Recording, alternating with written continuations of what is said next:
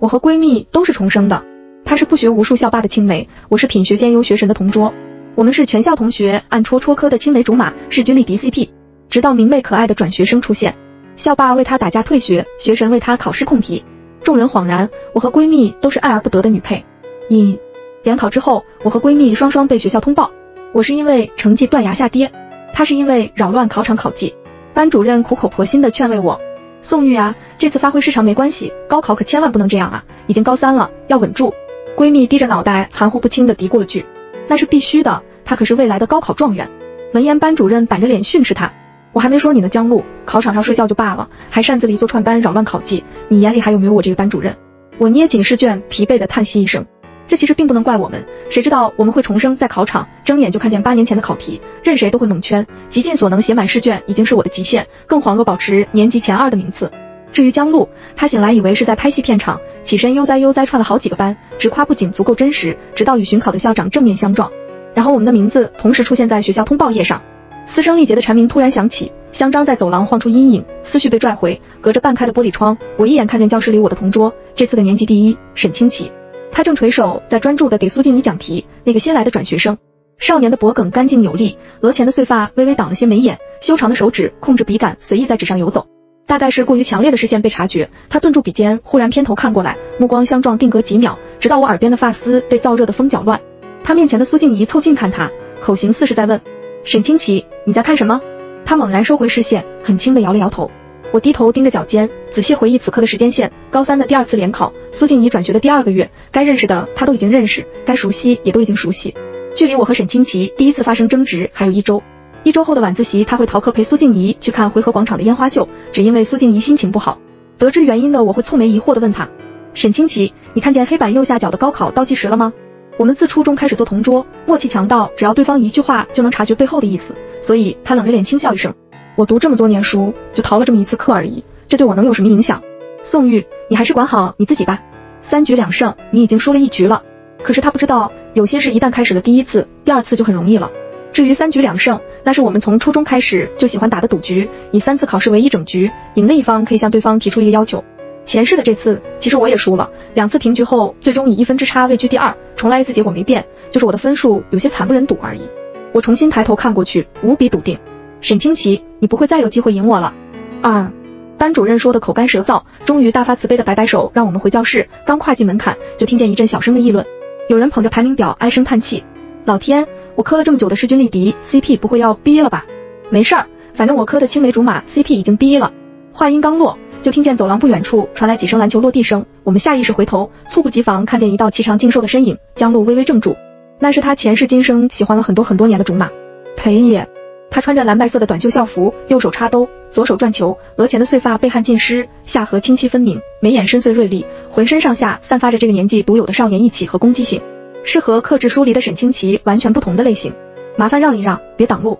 裴野指尖轻点，篮球弹起，然后他随意捞起，夹在腰侧目视前方，停在我和江路面前。如果是前世十七岁的江路，大概会坚决不让步的和他针锋相对，说路又不是你家的，他们一向吵吵闹闹。可现在是八年后的江路，所以他只是平静的往右移动半步，空出行走空间。压迫性十足的身影终于远离，先前讨论的声音更小声了一点。看吧，逼得很彻底。他们之所以会这么说，其实还有个原因。一周前，裴野因为苏静怡和外校同学打架伤了眉骨，回去面对父母的关心，只是随口说了句摔跤摔的。江路没忍住，告诉了他父母是因为打架，虽然没说具体原因，但也让裴野因此被父母严加看管，上学放学强制性接送。事发当天晚上，裴野将江路送的一只茶杯砸碎在他面前，戾气十足的质问：“我打架打了这么多年，你都替我瞒着，怎么就因为这次我是替苏静怡打架，就这么迫不及待告诉我爸妈了？”江路，你以为我不知道你在想什么？真是令人恶心又作呕。我想我会永远记得江路在我面前落泪的模样，他捂着眼睛哽咽。我是真的很担心他，医生说伤口要是再偏离半分，他那只眼睛就废了。我拍拍他的肩膀，没有说话。个人有个人的道。旁人无法体会对方的感受，也不能有更好的见解。陪伴就是最大的安慰，只有亲身经历过，才知道其中的滋味。就像前世我和江路一意孤行的经历，也像今生沈清奇和裴野未知的前路。如果是前世，明天晚上江路就会忍不住低头主动找裴野说话道歉，递上台阶结束冷战。毕竟这么多年来，每次发生矛盾都是这样。重来一次，我偏头看向江路，他察觉出我的疑问，随手拨了拨额前的碎发，笑得明艳大方又不失风情。一如未来那个坐拥千万粉丝的大明星，粉丝宝宝可是告诉过我的，不能低头，皇冠会掉。三，为了尽快弥补遗忘的课程，我开启了两耳不闻窗外事，一头埋进圣贤书的生活。偶尔还会抽空指导指导前来求问的江路，他一脸愤恨的开口。虽然可能已经来不及，但我还是想试试，不然未来又要在综艺上背抄学生时代的成绩了。我的人生小污点啊！我欲哭无泪，随意瞥了眼右上角被我折得整整齐齐的试卷，那将会是我这重来的这一生中学业路上的最大污点。接水路过的裴野嗤笑出声，喝都烂了这么多年了，现在才来努力，是不是有点装模作样了？我画图的手一顿，还没抬头就听见江路轻笑。有些人愿意一辈子待在垃圾堆里，我可不愿意。我戳戳笔尖也笑。是啊。我因失误断崖下跌的成绩都比某些人要好。其实裴野的成绩并不差，但也没到金字塔顶尖的部分。前世他凭借足够的分数进入了体校，最终成了一名运动员。甚至江路在最火时期还和他直接领证官宣。幸好他演技足够好，颜值足够高，也不作妖，加上青梅竹马的关系，硬生生抗住了那段时间流失的无数他和其他男星的 CP 粉和铺天盖地的谩骂。可惜在大明星和运动员的 CP 粉逐渐庞大起来时，裴野和苏静怡深夜进入酒店的消息一路飙升到热搜第一。年少情谊，最终还是物是人非。面对我的补刀，裴野不怒反笑，是吗？那怎么越来越不如沈清奇了？我微微一愣，这才发现左侧的位置从晚自习开始就一直是空着的。恍然想起，今晚就是沈清奇逃课陪苏静怡去看烟花秀的时间。本来这种事会落在裴野身上，但他前段时间被父母严加看管，正在装乖减刑中，所以去的人就成了沈清奇。他在学校是出了名的品学优良，查课老师会以为他请假了不在意，班主任又会以为他自有安排不会管，于是逃课这件事就很顺利。至于苏静怡，她以身体原因请假三天了。最后一节晚自习下课铃响后，我又在教室停留了半小时，刷完最后一套数学卷。江路陪我，我一起奋斗。结束后，我们走进静悄悄的楼梯口，然后与回校收拾东西的沈清奇正面相遇。隔着八个台阶，我低头俯视，他抬头仰视。江路哼了一声，拉着我要从旁边走，却被他脚步微微一动挡住。他问我：“宋玉，你不问问我为什么没上自习吗？”我朝他莞尔一笑：“沈清奇，这是你自己的事，我不会干涉你的任何决定。”毕竟犯过一次的错，我绝不容许自己再犯第二次。江路双手环胸，一脸疑惑，双眼却亮晶晶。是啊，你们只是同桌关系，宋玉为什么要管你？为什么没来上自习呀？同桌，一个纯情中带着无限遐想的词，可以有一万种可能，也可以什么都不是。四，但比同桌更暧昧的距离其实是前后桌，比如苏静怡和裴野，和他日常找沈清奇问题目，拖着下巴听讲解时的安静不同，和裴野的日常就是打打闹闹。最开始是他的发梢挠到后桌睡觉的裴野脸上，裴野不满的用笔勾了勾他的马尾，苏静怡愈发故意将背挺直往后坐。后来裴野开始用笔在他后背写字让他猜，又一次猜错之后，苏静怡回头佯装生气，裴野你耍赖皮，明明就是茶，才不是图。裴野笑起来，无奈说，好好好，是茶是茶。我收回视线，余光却看见同样望着他们的沈清奇，他面前的试卷上一道题写了半节晚自习还没得出答案。江路曾告诉过我，背后写字这个游戏是幼时双方父母为了让两人安静下来，故意让他们互相写，谁辨认出的多，谁就可以多的一朵小红花。久而久之，这就成了两人之间独有的游戏。可事实是，换一个人也可以。蝉鸣消失，这个闷热的夏天终于要过去了。但随着高考倒计时一天比一天少，重大学业压力之下，同学们会在休息透气的空隙自发开始找乐子，比如从前科我和沈清奇、江路和裴野的 CP。当然，那时候我们都没有对此有过解释或生气。自然有说不清的纵容之意，也比如现在他们开始打赌沈清奇和裴野谁会和苏静怡在一起。这个赌局形成于一节体育课之后，体育老师临时有事让我们自由活动，有人趁机在户外放松，也有人抓紧时间回班复习。裴野和人打篮球，沈清奇在班级教苏静怡写题，我和江路买了瓶酸奶，慢悠悠往教室走，中途却突然遇到听沈清奇讲完题下来的苏静怡，她笑眼弯弯和我们打招呼。宋玉、江路，你们也喜欢芒果味的酸奶吗？我也很喜欢。可惜我对芒果过敏，不能喝。喜欢却得不到的滋味，真的不好受。哎，只能眼睁睁看着被别人。我将手中还没开封的酸奶塞给他，打断道：“那你拿着吧，不能喝就闻闻。”话音刚落，他举着酸奶还没开口，一只篮球急速飞来，砸碎了我们旁边的消防箱玻璃。当时的情况，我第一反应是拉开江路，他未来要上镜，不能受伤留疤。下一秒，苏静怡的惊叫声响起，她的小腿被玻璃划伤，血丝渗了出来。最先冲过来的是裴野，他俯身抱起红了眼的苏静怡，朝同样受到惊吓的江路吼了一声让开，就往医务室跑去。然后沈清奇出现，他眼里似乎是一种夹杂着看透一切的失望。我都看见了，你刚刚明明也有机会拉开他的，为什么偏偏故意让他受伤呢？我将被玻璃划伤的手背在身后，笑着问他，沈清奇，我怎么做和你有什么关系吗？那之后班上同学就自发形成了一场赌局。江路咬着吸管轻笑，随口一说，我赌他们谁也不会和苏静怡在一起。没人听见，除了我。但我赞成，因为我见过苏静怡真正喜欢的人。一个性格酷似裴野，长相却和沈清奇十分相像的男生。五，那人是他转学前的邻居哥哥，长相俊雅，性格嚣张，常年混迹社会的经历，对自幼被困于校园的女生最是具有吸引力。况且还有因为过于频繁的接触，被父母强制转学形成的叛逆心理，让他对此念念不忘。多次请假时偷偷去见他，和校外混混纠缠不休时故意引起他的注意。前世高考后，沈清奇和裴野同时对他袒露心意，得到的是他惊讶中带着了然的笑意。我们不一直都是朋友吗？这样不好吗？当朋友比当恋人关系更稳定。不久后，他就在朋友圈官宣了他和那位邻居哥哥的恋情。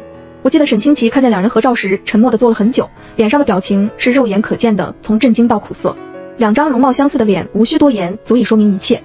而裴也意识到自己是聊以慰藉的替身，则是因为烧烤摊前一次偶然的出手相助，对方感激的朗声道谢。兄弟，你这脾气还真 T M 像咱们领哥。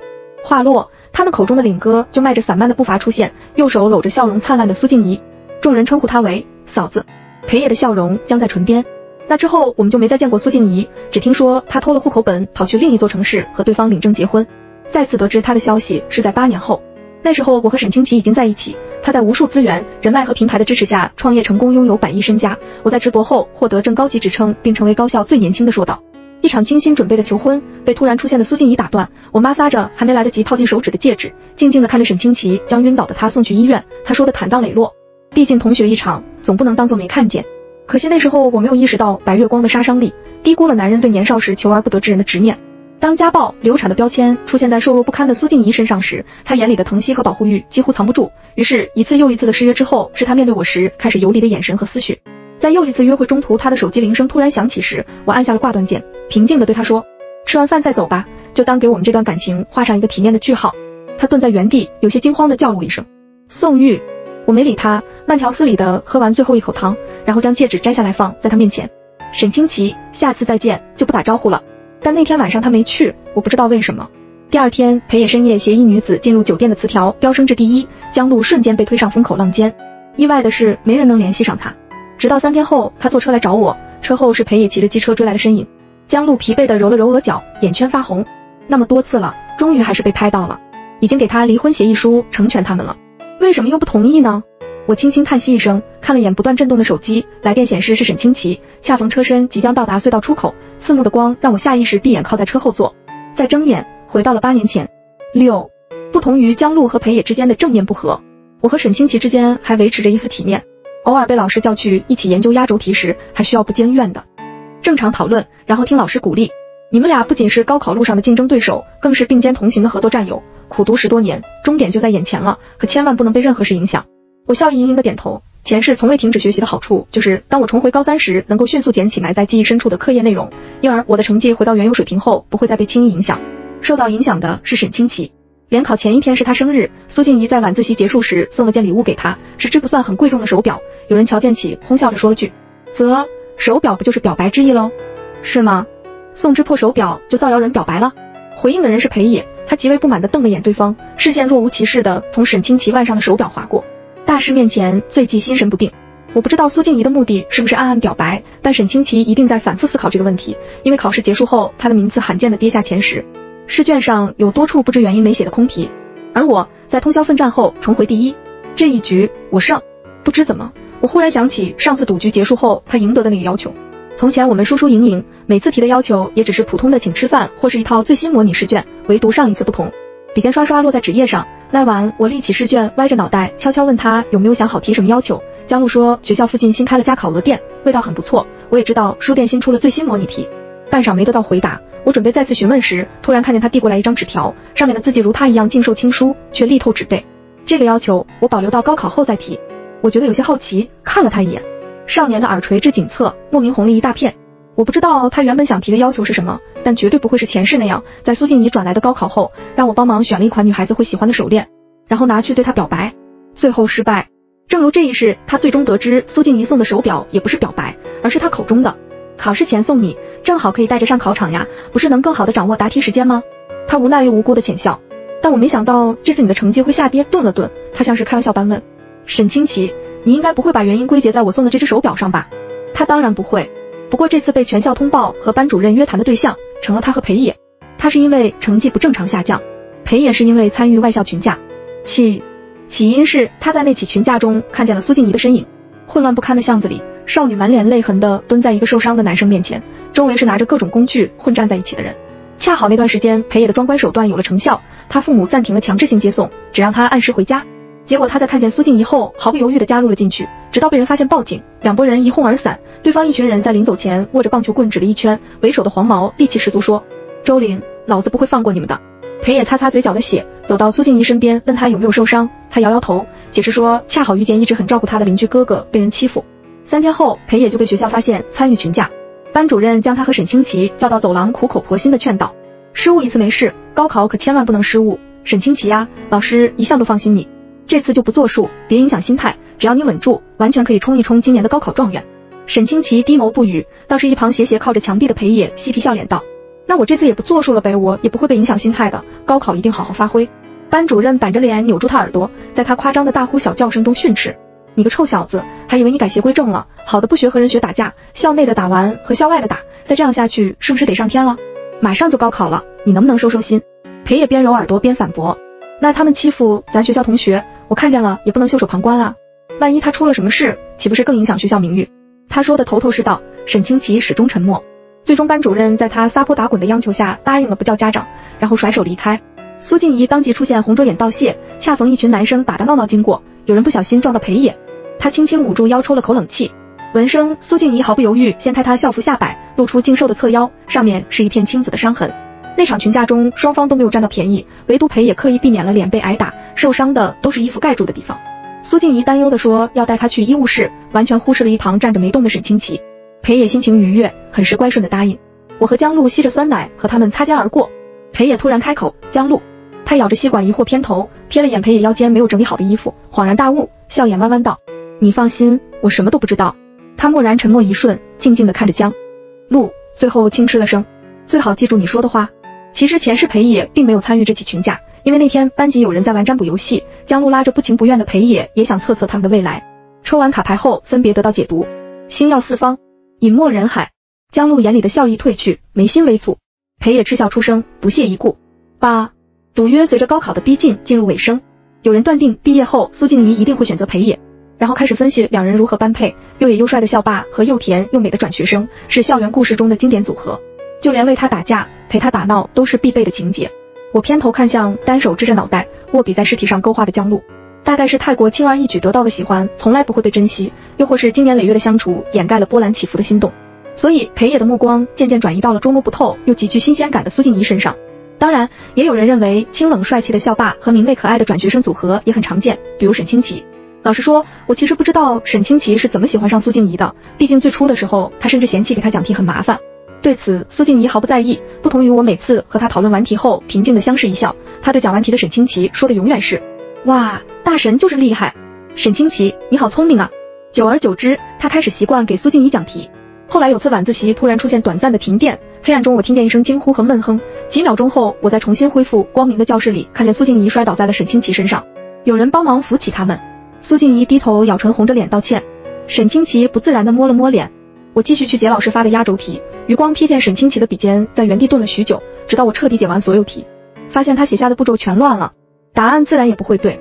当然，抛开单纯的喜欢，对于游走在两个男生之间的一个女生，很难说他们之间没有争夺同一个目标对象的胜负欲。然而，在这场兼具竞争性的追逐中，率先出局的人其实是裴野。当初群架中另一方离开时，曾放话不会放过周林，但他们找上的却是帮着苏静怡的裴野。消息传到班上来的的时候，裴野已经被送进医院。那天雨下的很大，掩盖了一切声音。他被人打折了一条腿，伤势严重到无法继续备考复习。班上曾被裴野帮助过拎水搬桌子的同学提议去医院看望，苏静怡也去了。回来之后，所有人都改变了他可能会选择裴野的看法。听说是裴野母亲得知了先前群架的事，在医院里指责苏静怡，得到是他无辜又纯良的回应。阿姨，是您儿子他主动凑上来的，这怎么能怪我？打断他腿的也不是我，和我又有什么关系？我作为同学好心来看望，却还要被您责怪，有您这么不讲道理的吗？有人问裴野的反应，在场的人说他只是沉默的靠在病床上，什么也没说。毕竟事实就是无法反驳。九，江路去看望裴野是在高考前不久。他是被父母带去的。当时裴野刚从手术麻醉中醒来，迷迷糊糊看见江路坐在床边专心致志削苹果的身影，沙哑着嗓音开口：“我做了一个很长很长的梦，梦里你成了一个闪闪发亮的大明星，却在最火的时候直接与人领证官宣。哦，不问问那个人是谁吗？”江路抬头浅笑，裴野，总归那个人不会是你。话落，在裴野苍白慌乱的脸色中，江路将削好的完整苹果放在干净的盘子里，起身说：“其实削完皮的苹果一点也不好，氧化太快，新鲜感很快就没有了。”他削苹果不断皮这项技能还是因为裴野学会的。从前他打架受伤在家休养时，江路为了能陪他多一点时间，就喜欢削苹果。为了不断皮，就要削得很慢很慢，久而久之就拥有了这项毫无用处的技能。以后他大概再也不会削苹果了，因为裴野的离开，班上同学开始默认沈清奇和苏静怡以后会在一起。每到休息的时候，都能看见他在给苏静怡讲题。于是，即使我们是距离最近的同桌，很长一段时间也没有可以好好说话的机会。江路听完我给他讲解完的题目后，瞥了眼还在反反复复讲同一道题的沈清奇，暗暗咂舌。这道题他都讲多少遍了？真是宁愿认为自己没讲明白，也不怀疑对方没在听。我顿住笔尖，看向双手托着下巴的苏静怡，想起前几天经过网吧时看见她红着眼圈的场景。那时面前站着的是本该如前世一样躺在医院里的周岭，两人像是在吵架。最后苏静怡哭着离开，然后她开始和沈清奇一起进出学校。而我和沈清奇的最后一次交谈是在三局两胜中的最后一场联考结束。毫无意外，我赢了。高考前夕的教室空无一人，我和沈清奇并肩站在走廊，看向夕阳下的操场，有光流转在我们身上。他目视前方，问我：“说吧，你的要求。”跑道上是穿着校服奔跑的少年少女，我偏头看向他的侧脸。沈清奇，还记得你说要保留到高考后再提的要求吗？他回望过来，点头。我弯唇浅笑，我的要求很简单，永远别说出你保留的那个要求。他低眉看我，眼神复杂。下一秒，苏静怡突然出现，软声叫他。沈清奇，我有道题不会写，你教教我。我看着他的背影，转身朝另一个方向走去。这一世的轨迹其实已经发生变化，我不知道这次他保留到高考后的要求会是什么，但无论是什么，我都不想再听见了。不过前世我在这场赌局后对他提出的要求是一起去 A 大，这本来就是我们自相识以来的共同目标，并不算是为难。那时候也有赌的成分，因为在那之前的一个周末下午，有人在学校广播站播放了首《匆匆那年》，掀起一股讨论剧情的风潮。说起男主为女主放弃的那道十三分大题时，大家都在一本正经的怀疑他本来就不会写。我听见苏静怡期待的问沈清奇，就算那是他为自己不会做找的理由，但这个理由本身也足够浪漫，不是吗？如果是你，沈清奇，你会为了喜欢的人这么做吗？他垂眸沉默。苏静怡的成绩并不算差，但在高考中，一分的差距就是千人的距离。说实话，我还真的挺害怕他会在冲动之下弃题不写的，所以抱着百分之一的希望提出那个要求。好在他实现了，重来一次。匆匆那年再次响起。我才意识到他没有空题，似乎不是因为我，因为这一世没有我的要求，他依旧认真写完了每一题，并获得与前世相同的成绩。遗憾的是，他用分数证明了实力，却用志愿给出了浪漫。十，得知沈清奇修改了志愿是在毕业聚会上，我正在一边接受同学的祝贺，一边安慰唉声叹气的江路。除了没能参加高考的裴野，所有人的成绩都没有发生变化，我依旧是高考状元，比沈清奇胜出一分。江路捧着和前世如出一辙的分数，哭丧着脸凑过来。真是忙忙碌碌一场空，还以为能靠重生逆袭呢。我无奈轻笑。如果真是这样的话，那复读生岂不是人均清北了？八年没碰书，一来就高三，能保住前世分数已经很厉害了。刚说完，就听见一阵起哄声，大家在调侃沈清奇和苏静怡脱离学生的身份，所有人都开始肆无忌惮的用暧昧的眼神看向两人。有人笑嘻嘻朝他们举杯，我是该祝二位前程似锦呢，还是祝二位喜结良缘呢？苏静怡红着脸低头，让大家别乱说。沈清奇微微一怔。有人反应过来提醒他，对对对，还没正式表白呢，当然不能这么说。沈清奇，别发呆了，人都这么说了，赶快上啊！高考完的学生有无限热情，现场的氛围瞬间到达高潮，两人被迅速围在中间。我和江路退到人群外围，却依旧能听见沈清奇温润的嗓音。听说毕大有新生入学挑战赛，情侣参加获胜率更高，苏静怡同学要一起参加吗？众人一愣，随即爆发出一声声惊呼。江路也没忍住惊讶。他的意思是用稳去 A 大的分数降级填了 B 大的志愿，我还没来得及开口，就听见砰的一声，包厢门被人大力踹开，一群人出现在包厢外，为首的是周凛，苏静怡的邻居哥哥，那个和沈清奇长得很像的男人。所有人都一愣，班长走出来问他们要干什么。周凛吊儿郎当的夹着烟，看向苏静怡，听说有人要表白老子女朋友，老子来看看谁那么不长眼，敢抢老子女朋友。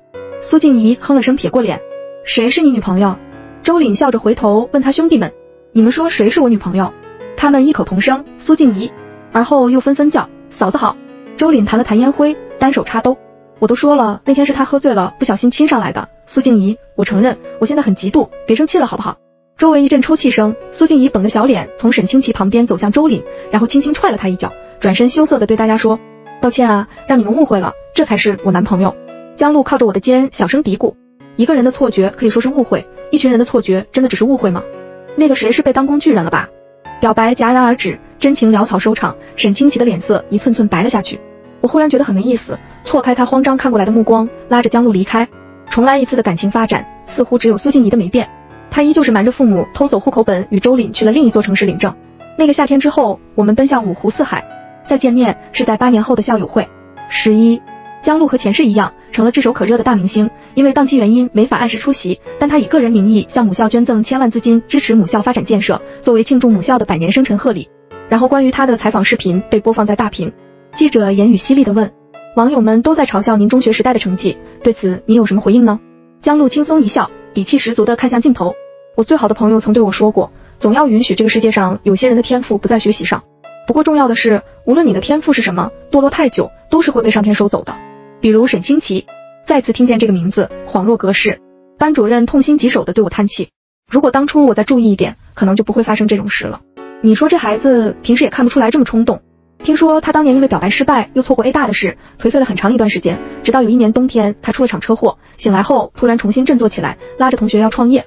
可惜成功太具有偶然性，在其中任何一个因素发生偏差的情况下，都不一定能复刻成功。更何况这次除了他本人，所有因素都变了。所以这一次他的创业之路步步受阻。在经历一次次失败后，他被打击的彻底没了往日的自信与锐气，为了生活不得不放下骄傲，和无数曾经不如他的竞争对手去抢一个工作机会。我想起 A 大毕业那天收到一条消息，原来行差一步就再也走不到终点了。来自陌生号码，我没回复。校友会说白了还是修罗场和名利场，不看往日的辉煌，只看今日的成就，所以没能看见裴野和沈清奇，我并不觉得意外。意外的是听见有人讨论为爱修改志愿的沈清奇，他们很是羡慕道：听说过当年降级报志愿的沈学长吗？真是太酷了，这是能吹一辈子的程度。是啊是啊，考得好还纯爱，牛逼。我停下脚步。转身看向那群校服少年，温和的笑笑。同学，前途和爱情从来就不冲突。如果真的喜欢，就更不应该放弃前程，而是该紧紧抓住机会。毕竟，你得优秀到未来可以打败任何一个可能会和你争抢他的竞争对手，不是吗？走出学校，我看见沉寂已久的群聊重新活跃起来。有人提议趁机举办一次同学聚会，大家纷纷表示同意。很巧合，地点就是当初毕业聚会的包厢。恰逢江路结束完新剧的宣传，也及时赶了回来。作为海报铺满全城的大明星，他一出现就成为全场的焦点。有人向他要签名照，也有人想要合影。江路都笑着一一满足。直到姗姗来迟的裴野对他说了句：“好久不见。”十二八年的时间是挺久了。事实上，江路的父母一直没搬家，只不过自高考后，他在机缘巧合下进入娱乐圈，一夜爆红后，工作太满，没时间回来。偶尔回家看望父母，也会匆匆离开。所以这么多年来都没再见过裴野。倒是他在父母那里听说过裴野的情况。当年出院后复读，却没能再进入目标院校，因为跛腿的原因，毕业后找工作备受歧视，最终只能回老家，随意找了份可以维持生存的工作。我想起前世他在赛场上的身影，虽然不如江路那样万众瞩目，但也是备受尊重的。如今两人的距离，似乎连纠缠的机会都不会再有，就算是见面，也是相对无言。事实也的确如此，这次江路回来就是要将父母接走，以后可能再也不会回来。听闻此事，众人惊讶问：“那意思就是说，以后都没机会再见到你了？”回答的人是裴野，他一口饮尽杯中酒，嗤笑：“怎么会见不到呢？明明全世界都是他的身影啊！”江路笑着没再说话。我想，如果不出意外，这大概就是他们之间的结局了。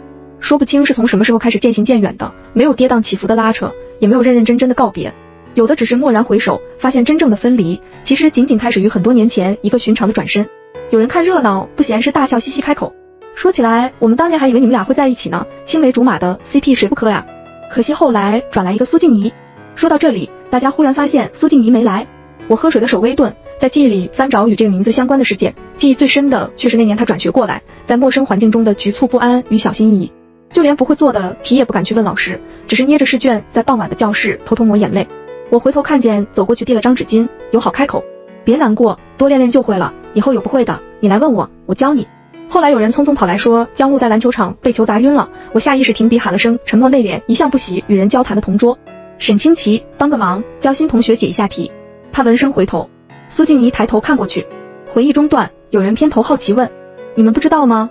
当年他不顾父母反对，偷户口本与那个身后有一群小弟们的男的结婚，一毕业就当了家庭主妇。结果那个男的本性暴露，不仅出轨还家暴，更重要的是游手好闲不工作。前段时间他流产了，和他前世的结局相同。话说到这里，提到沈清奇是不可避免的了，因为苏静怡在痛苦无助之下的确去找过他，可他也只是冷冷说了句。同学一场又怎样？和我有什么关系呢？我放下水杯，在一片唏嘘声中偏头去看那个自始至终只沉默坐在角落的男人，一如当年初中入学进班后自选座位，我一眼看向那个安静坐在靠窗位置的男生。十三，相较于江路和裴野之间羁绊更深的青梅竹马情分和父母邻居友谊，我和沈清奇之间的同桌关系实在有些浅薄。就连曾经大家口中的势均力敌 CP，在他对苏静怡表白之后都不再被提及，人人都以为是他们的自娱自乐，没人知道我真的喜欢过沈清奇。喜欢到前世一次又一次容忍他为了苏静怡丢下我，相信他一句又一句漏洞百出的理由。酒过三巡，我去露台吹风醒神，沈清奇就是这时候走到我身边的。我偏头看向那张和前世八年后一模一样的脸，似乎除了缺少了那份倨傲与自信，什么也没变。一直没机会见面，他说恭喜呀，梦想成真。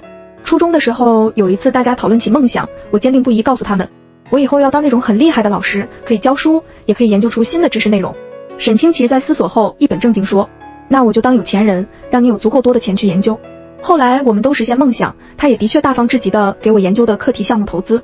那时候我笑着问他，不害怕投资失败血本无归吗？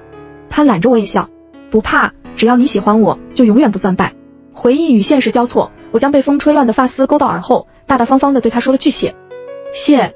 他仔细看着我的眉眼，沉默一瞬，忽然说，说来有些可笑。那年我车祸差点死在手术台上的时候，好像进入了另一个世界。在那个世界里，我们进入同一所大学后在一起，你和这辈子一样成为硕导，我也创业成功，拥有百亿身价，我还对你求婚了。我们是吗？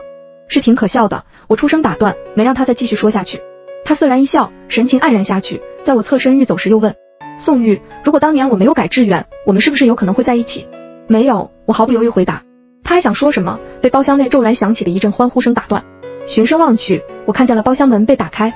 不同于当年出现了一群气势汹汹的男生，这次门外站着一位长相英俊、气质温雅的男人，那是我研究的最新课题项目的投资人。